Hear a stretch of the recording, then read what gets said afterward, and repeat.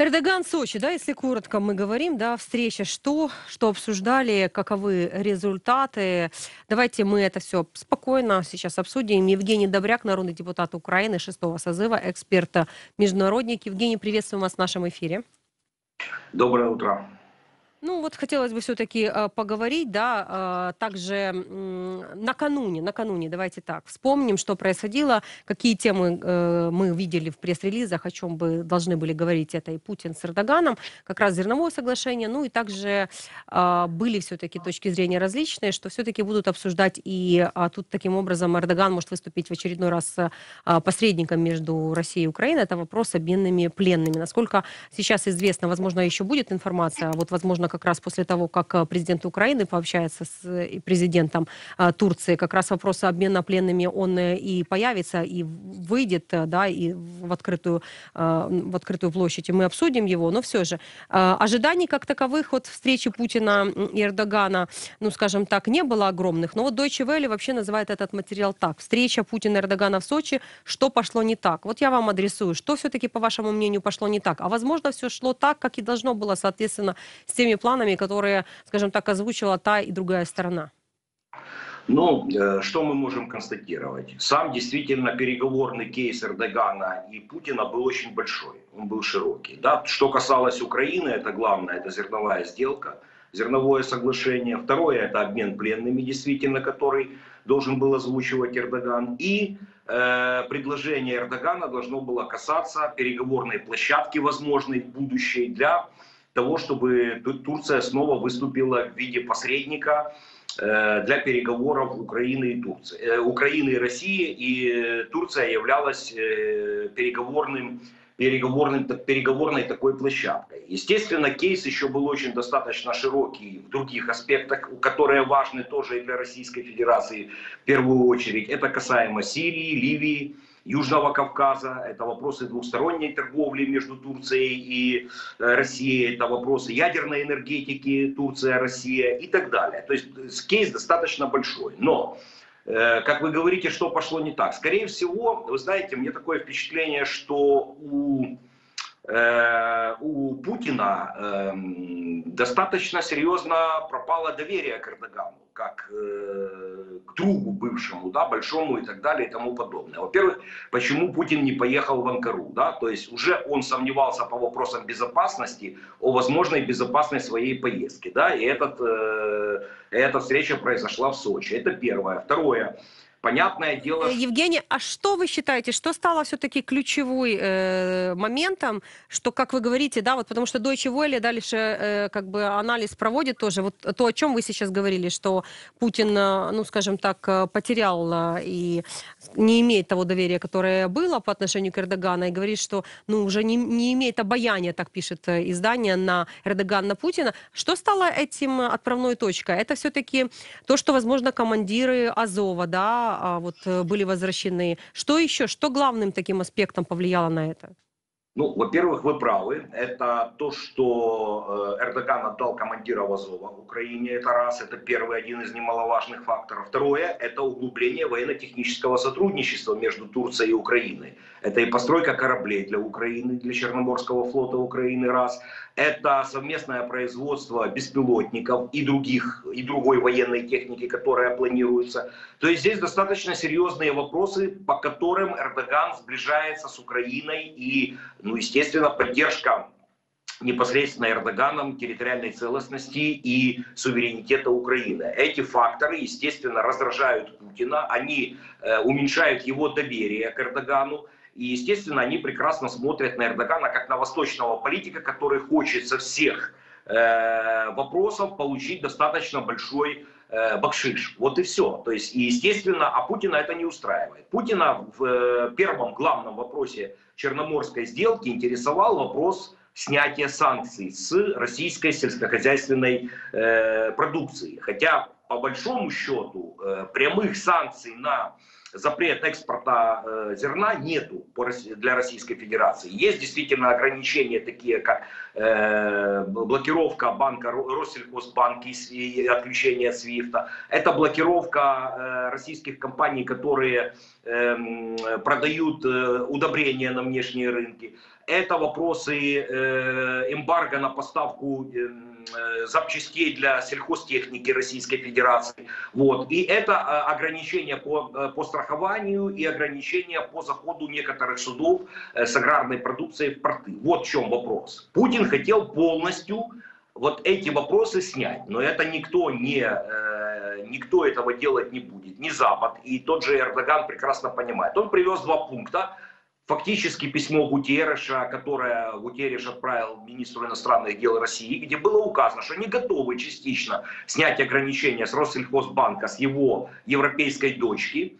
Вот, это первое. И второе, снять ограничения на определенные э, виды деятельности компаний, которые продают э, удобрения. Все, то есть там больше не было никаких таких моментов, хотела, которые хотел Путин. Но он начал вот такую вот вести более жесткую позицию. Что нам это говорит? Нам это говорит, что нам нужно действительно искать альтернативные пути зернового коридора, обеспечение безопасности зернового коридора самостоятельно и при возможности с нашими западными партнерами, если Путин не пойдет окончательно на вот такую, на, на, на такие компромиссы.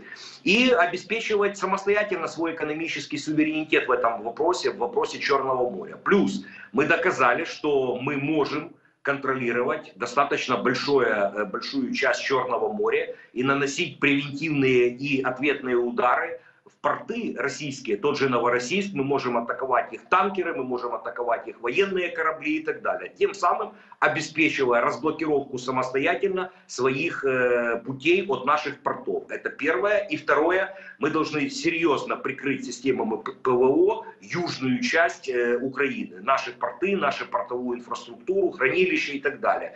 То, что сегодня э, разрушает Российская Федерация, дабы давить на нас в плане, и не только на нас, и на Турцию, и на западных партнеров в плане э, компромиссов по поводу хотелок Российской Федерации, а с другой стороны, все-таки главная цель России стоит вытеснение Украины с глобального продовольственного рынка. Сказали, что Путин не видит в Эрдогане друга, что ли, если я правильно да, вас понял. Хотя президент Турции в своих социальных сетях, он либо его там помощники, э, писали о Путине как добрый друг. Да, добрый друг, мы поговорили с моим добрым другом, обсудили ситуацию на атомных электростанциях, несколько атомных электростанций, и о увеличении торговых э, взаимоотношений также господин Эрдоган э, написал, либо опять-таки его помощники. Встреча проходила на фоне спустя несколько недель после того, как российские военно-морские силы обстреляли э, сухогруз турецкий под флагом Палау Шукрау-Кан.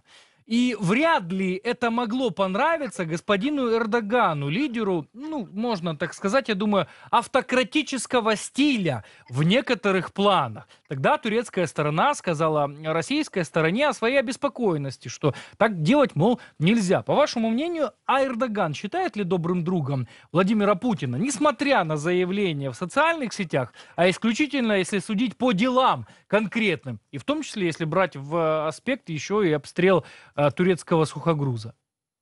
Ну, я вам скажу так, что Эрдоган считает, ну, во-первых, э, Путин Эрдогану не нужен.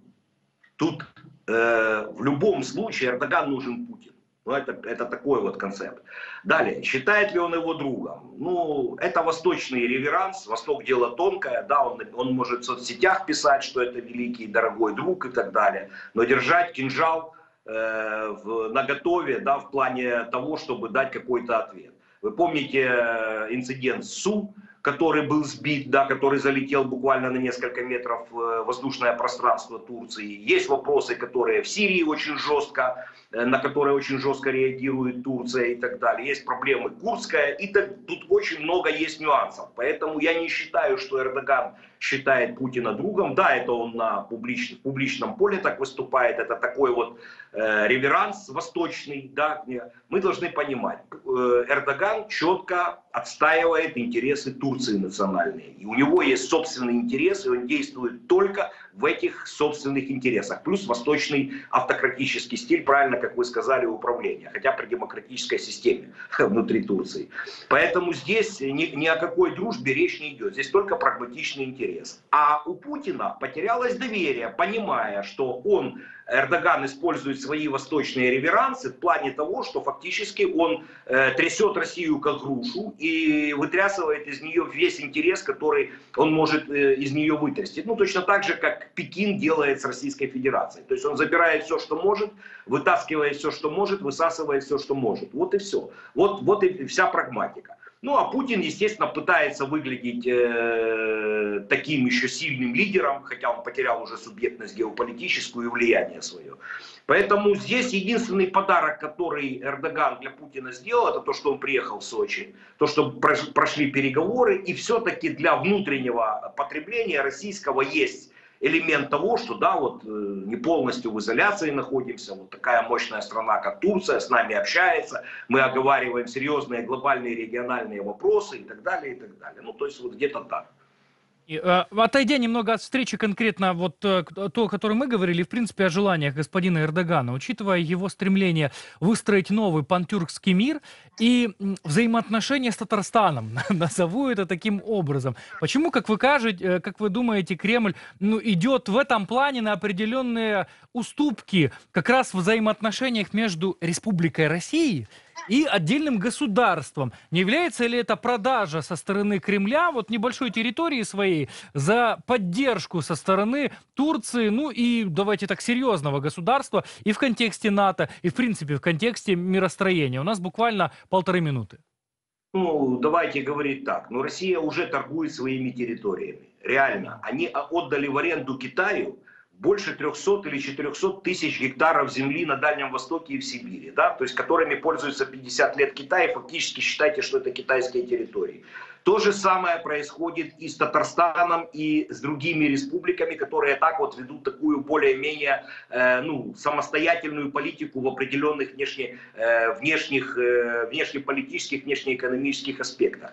Поэтому это вынужденная позиция. То есть они прекрасно понимают болезненность э, отношения Эрдогана к тюркскому пространству, да, к э, э, Южному Кавказу, к другим частям, э, там, где есть элементы тю- тюркской, тюркской э, идеологии. Поэтому здесь, ну, здесь нету каких-то таких э, деталей, которые бы нас удивляли. То есть Россия давно потеря, теряет свое влияние, и многие аспекты идут на то, что она потеряет свой сегодняшний вид, который она имеет буквально ну, через определенное количество Евгений, я просто, знаете, господин Путин сказал такую фразу, нас опять надули. Он эту фразу не говорил только в двух месяцах этого года, в апреле и в июле. Каждый месяц его кто-то надувает. Так может, э, Эрдоган надувает Путина? Может, он его Нет, обманывает так в этом говорю, плане? У нас буквально его 20 надувает. секунд. Он его каждый день надувает, он высасывает из, из Российской Федерации Эрдоган, высасывает полностью все, что только может. Вот и все. И он будет это делать в рамках защиты своих интересов, национальных интересов Турции. Вот и все. И при этом Владимир Путин ведет неспровоцированную войну против другого суверенного государства, Вот. отжимая как гопник территории, при этом забывая о том, что Турция и Реджеп Тайп Эрдоган имеет отношения, скажу так, с одной из республик Российской Федерации. Евгений, спасибо вам огромное. Евгений Добряк был с нами на связи, народный депутат Украины шестого созыва, эксперт международный.